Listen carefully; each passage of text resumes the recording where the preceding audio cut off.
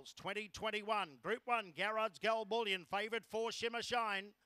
Racing, Shimmer Shine about second and third away, pushing forward together with Karinga Lucy down the outside. Crazy Cool, sentence caught very wide, so is Tommy Shelby. Back at the tail of the field and wide, 90 Mile King running into the back. Shimmer Shine the leader, getting over to second. Crazy Cool, two lengths away, third Tommy Shelby, five to win eight. Billy Karinga Lucy, then came 90 Mile King. Well back, Little Burns and Sentence coming to the turn. In front is Shimmer Shine, clear over Crazy Cool. It's gold, gold, gold to Shimmer Shine. He shines brightest tonight. And Shimmer Shine, two lengths over Crazy Cool. Up for third was there uh, Tommy Shelby, followed by Sentenced.